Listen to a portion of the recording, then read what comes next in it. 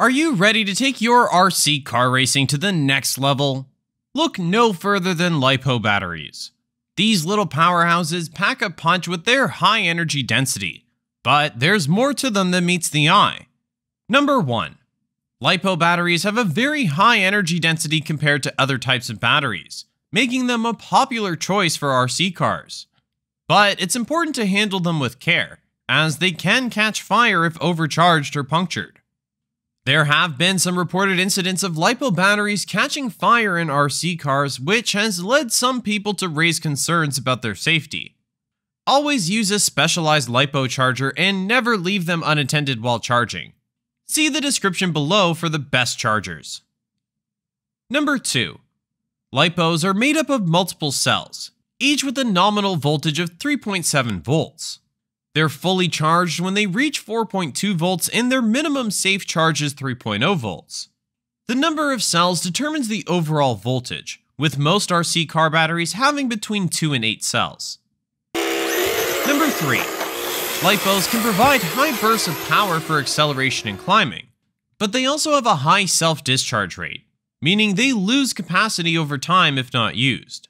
To store a LiPo battery, charge it to around 50 to 60% and store it in a cool and dry place. Number 4. RC LiPo batteries are not only powerful but also versatile, allowing you to customize your setup for different track conditions and racing styles. Be it high speed straightaways or technical circuits, LiPo batteries have got you covered. Number 5. LiPo batteries are sensitive to temperature changes. Their performance decreases when stored or used at extreme temperatures, so it's best to keep them at room temperature in a fire and explosion proof storage box. Number 6. The internal resistance of the battery can impact its performance. When the internal resistance of a LiPo battery is high, it will become less efficient, so it's important to check the internal resistance from time to time. Number 7. C rating and capacity are important factors to look for when choosing a LiPo battery for your RC car. C rating indicates how much current the battery can handle, and capacity indicates how much energy is stored in the battery. Number 8. The disposal of these batteries poses a threat to the climate. Though these batteries contain less toxic waste than other kinds of batteries, a study from Australia found that 98.3% of lithium batteries end up in landfills. Some have criticized their use in RC cars and other hobbyist applications as being wasteful and environmentally harmful, as they may need to be replaced more frequently than other types of batteries. Number 9.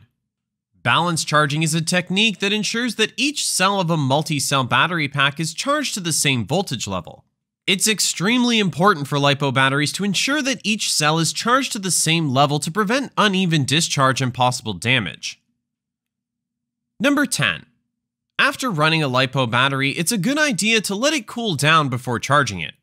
The heat generated during use can cause the battery to vent or even catch fire if it's charged immediately after use. So there you have it, little known facts about LiPo batteries that every hobbyist should know. With these tips, you'll be well on your way to unlocking the full potential of your RC car. Now get out there and bash. Thanks for watching.